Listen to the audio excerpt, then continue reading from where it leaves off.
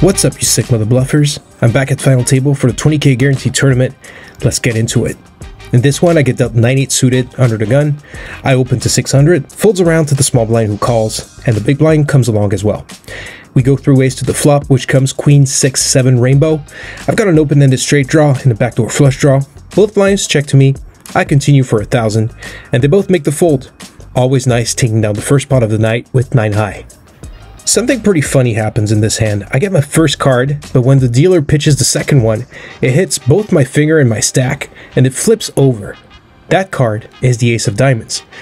Always sucks when that happens. So the dealer tosses me another card, and the action starts with a limp from the undergun player. Undergun 1 raises to a 1000. When action gets to me, I peel my bottom card, and it's the King of Diamonds. Fuck, I would have had Ace King of Diamonds. I peel the second card, and it's the King of Hearts. Damn! I somehow get an upgrade to Pocket Kings. That's so sick.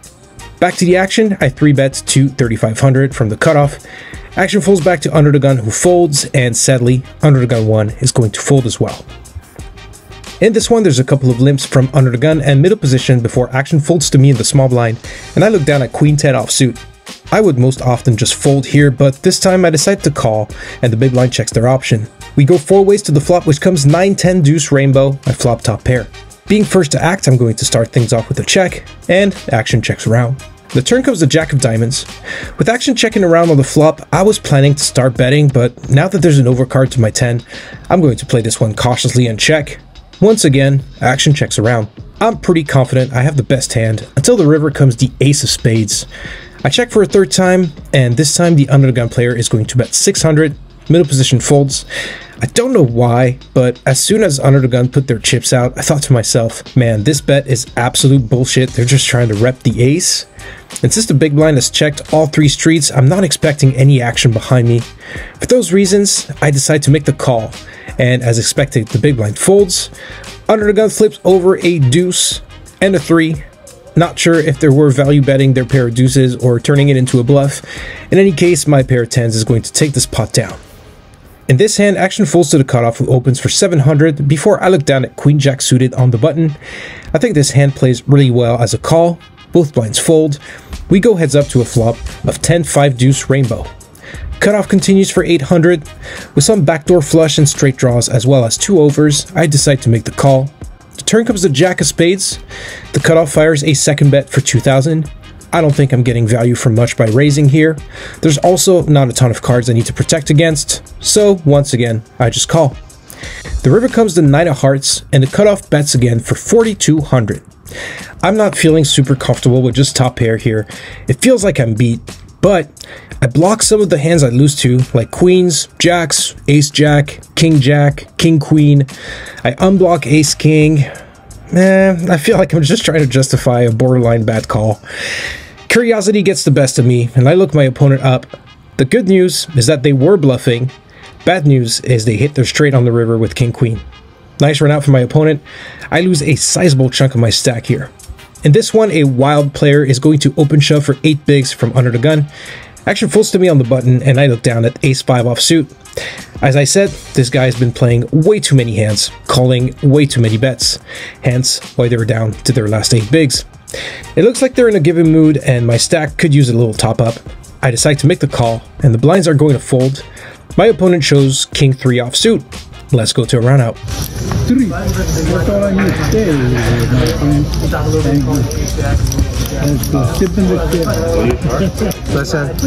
Well, that didn't work out as planned. Let's move on to the next one. In this hand, a couple of players are going to limp before I look down at 8-7 suited in the hijack. I make the call as well. Small blind completes, and the big blind checks. We go 5 ways to a flop of deuce 9-4 all hearts. I flop a flush. Action checks to the low jack who leads for a 1000. I'm going to be honest, it's not every day I flop a middling flush in a 5-way pot, and I'm not really sure what to do here. I guess the optimal play would be to raise, partially for value, but mostly to protect against a bigger flush draw. But there's going to be a lot of uncomfortable turns and rivers from my hand, so I'd rather keep the pot manageable, just make the call, and see how things develop. The three other players fold. We're going heads up to the turn, which comes to 7 of diamonds, great card for me. The cutoff does not slow down, and they continue for 1900. At this point, I decide that my flush is probably good, and that I'm most likely up against a hand like Ace X or King X of hearts, maybe a set. I need to charge these hands to see a river because if it's a heart, I will either A, lose to a bigger flush, or B, not get any more value from a set, and if it's not a heart, I won't get any more value from a flush draw. For those reasons, I decide to raise to 5000 and the low jack pretty quickly folds. In this one, the wild player from before limps, action folds to me in the cutoff, and I look down at ace king. I raise to 1500, it folds back to under the gun, and they make the call. We go heads up to a flop of jack 8 10, 1 diamond, 2 clubs. Under the gun checks, and against this very sticky player, I decide to check back. The turn comes the 6 of diamonds, and on this card, under the gun leads for 1700. I decide to make the call, as I believe an ace or king will give me the best hand, and I can go for a bluff if the river comes another club or diamond. The river comes the 7 of clubs, and this time under the gun checks. I'm going to go with my plan of trying to represent a flush. There's also a four liner to a straight, and uh, although I don't really have that many nines in my range, a big bet could really put pressure on all of my opponent's single pair holdings. I fire a bet of 6,000, and Undergun goes deep into the tank. It looks like they're going to fold, but after about a minute, they finally make the call, and they show Jack 6 of hearts for turned 2 pair. Really annoying for them to have 2 pair here. I think they were definitely folding 1 pair onto the next one. In this hand, action folds to the button who opens for 2100 before I look down at Queen 10 suited in the small blind. Sitting on about 8 bigs, I decide to 3-bet shove. The button is going to have a lot of weaker opening hands when the action folds to them, and if they end up making the call, I'll still have some pretty decent equity. The big blind folds, action is back on the button, and they snap call with ace king. On to a round out we go. Booty. The Portland nuts, right? Yeah. Here's your 10. No queen, please. Nice to get a little bit lucky here and get a full double up. In this one, we're back from break, and I took the add-on for 15,000 chips, hence the bigger chip stack. Action folds to me, and I look down at King Jack suited in middle position. I open for a min raise, and the big blind is the only player to make the call. We go heads up to a flop of 3, 8, 6, 2 spades, no hearts. Big blind checks. This is a better flop for them than for me. I check back. The turn comes a jack of diamonds. I make top pair. The big blind decides to lead for 1500. There are now a ton of flush and straight draws I need to protect against.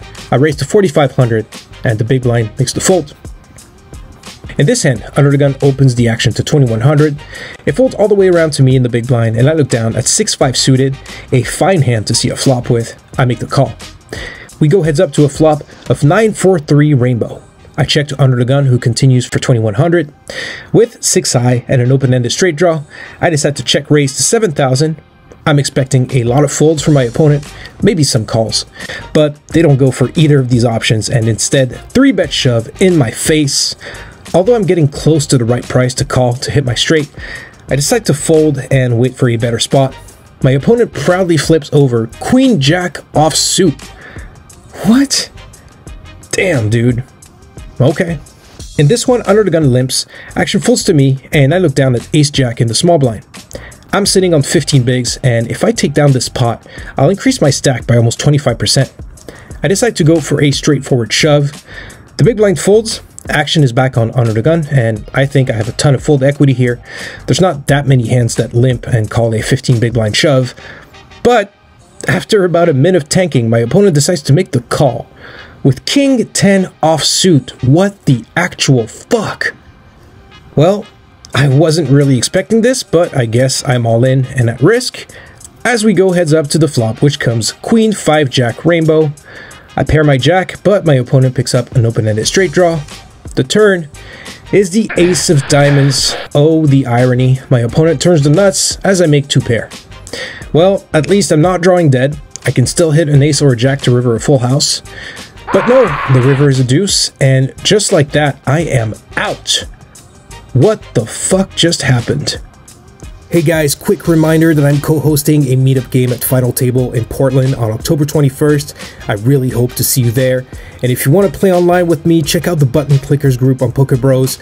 I have more information on the meetup game and Poker Bros in the description box, so make sure to check it out. Thanks, let's get back into it.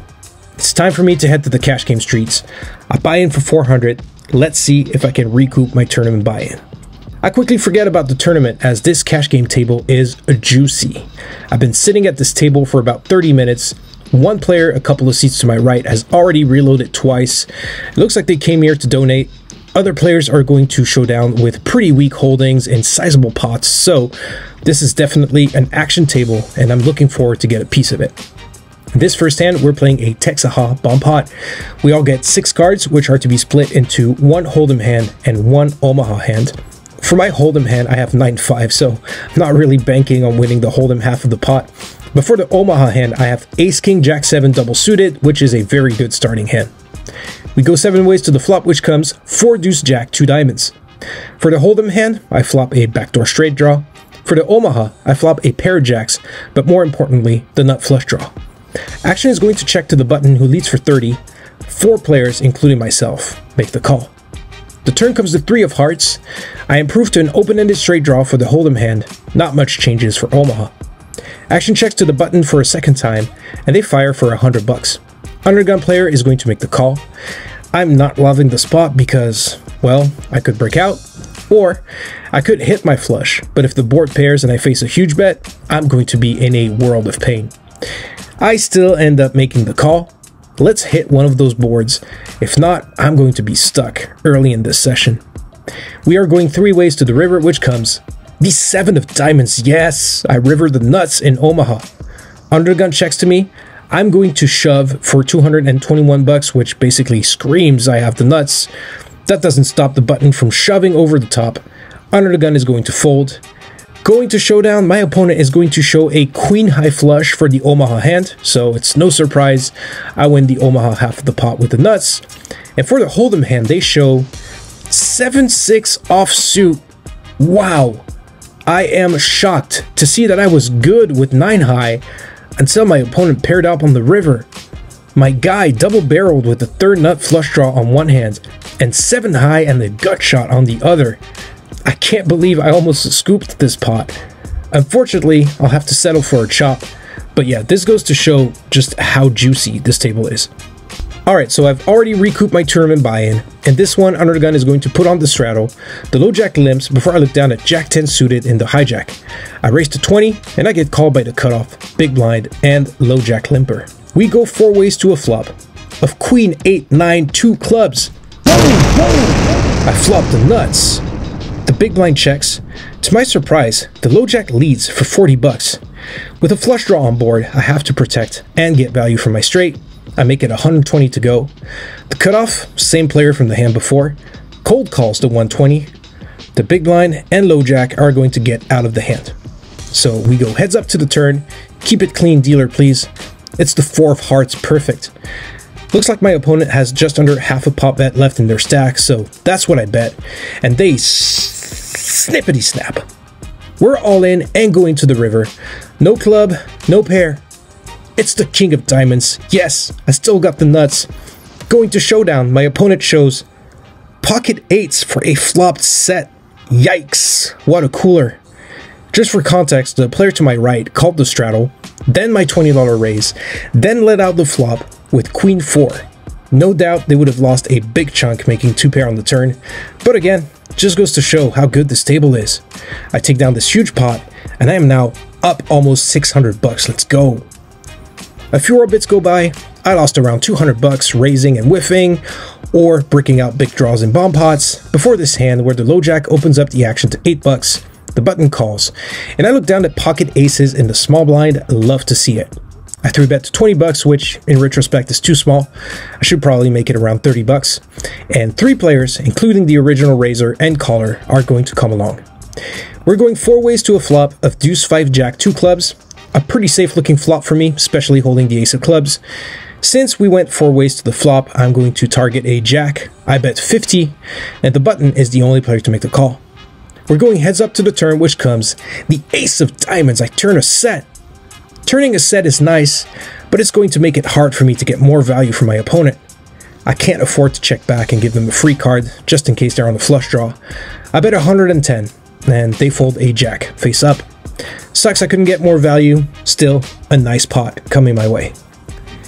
In this one, the button puts out a $10 straddle, the small blind calls, I look down at Queen Jack offsuit in the big blind. Not really a hand I want to make it 40 to go with when almost every hand has been going 3, 4, or even 5 ways to the flop. Not really a hand I want to fold either when players have been showing a willingness to show up on the river with just a pair, sometimes not even top pair. So I make the call. Middle position and cutoff are going to come along and the button checks their option. We go 5 ways to a flop. Of Queen, Ace, Jack, 2 diamonds, I flop bottom 2. Small blind is going to lead for 10. Bottom 2 is a hand that can get value, but also needs protection, especially on this wet board. I make it 40 to go. Action folds to the cutoff, who is going to 3-bet shove for 126. Interesting. I haven't seen this player 3-bet or show much aggression thus far. Thinking about their possible holdings here, I'm discounting a set since they just called pre-flop. I think they would probably raise with ace-queen or ace-jack, so I think they either have a flush draw or king-10 for the straight. Looking back on this hand, I'm getting a pretty good price to call, but my gut just told me I was behind, so I went with the next point fold, and my opponent was kind enough to show king 10 for the straight. I guess I lose the minimum, I'll take it. About 3 orbits later, I'm a little bit tilted because I could have left and booked a nice profit, but the table was so good that I decided to stick around. Unfortunately, things haven't been going my way, and I've lost another 150 bucks or so. In this hand, Undergun puts the straddle on, Undergun 1, button, and small blind all make the call before I look down at King Queen offsuit in the big blind. I raise to 25, Undergun calls, Undergun 1 folds, the button calls, and for the first time tonight, the small blind folds. We go three ways to a flop of 10 Jack Deuce. I pick up an open-ended straight draw, I decide to start things off with a check, and action checks around.